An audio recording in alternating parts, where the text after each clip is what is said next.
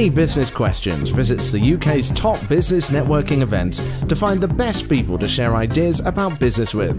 It's a chance to see the value of networking, discussing ideas, learning tips, and having a bit of fun too. Don't forget to join us at the community afterwards to find out the next filming date and to discuss ideas in the show. Let's move on to question two. And I think this is a really good question, real fundamental business question is uh, what price to charge? Charlotte in Woking runs a business with five staff running children's parties.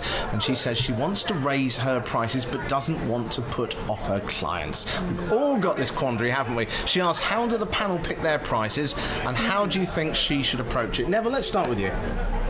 Well, I mean, Charlotte wants to put up the prices, so she must have a reason, number one, for wanting to put up the prices. Um, I think nowadays everybody will expect through economics that prices will rise in a service. But more importantly, for Charlotte, she needs to show the value of her service. Yeah. If people value her service more, they will be willing to pay more. Mm-hmm. So it's not just about the pound sign, it's what does it represent. So she needs to demonstrate. Yes, in to- a total, what does this service in total giving that's above maybe competition, and that's why people are happy to pay that little bit extra.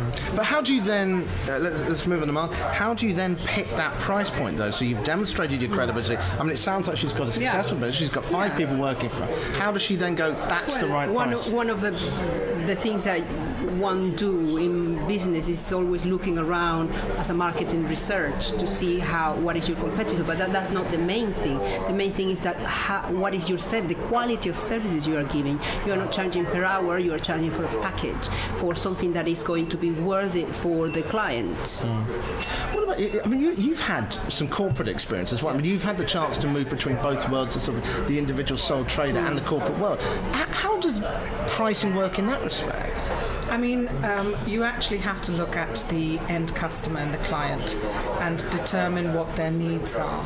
If you can understand what the needs of the client is, also the geographic location, what the market will bear in the area that you are in. So if you're living in an area which is where your environment and the services that you're offering to clients who really can't afford to pay that price, then you are targeting your whole um, um, service and product to the wrong market. So you actually have to check and see what is the local price point that a market can bear in the area where you're conducting business, and then to look at it and see what the needs are of that client or the clients that you want to service, and find, as the others have said, the unique selling point that you have in your business, and then target it, um, and then decide on your price point. That's a really interesting point about the location. So, so you could be offering a quality service in one area and in another area and charge a completely different price. Absolutely. Some really good points there. It really does uh, show the benefits of networking as well. Thank you all. So we've got some more questions, but thank you all for joining us to uh, away from this networking meeting for a couple of seconds. Um, right, let's move on. There are tons of websites, of course, to find out about networking events around the country. This particular one here is at the North Star Pub in Chessington in Surrey. And actually, when's the next one? It's on the 8th of July, which is the last one, and we will be doing a Latino party. A Latino party at the next 8th of July. Yes, the right, 8th of and 2014 if you're watching this in the future as well.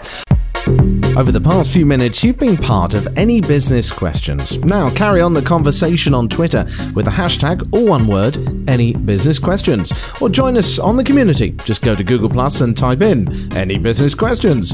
If you'd like us to come to your event too, have a look at the Business TV section on the ShoutPow website. That's shoutpow.com, the Business TV section. We all hope to see you at the next event.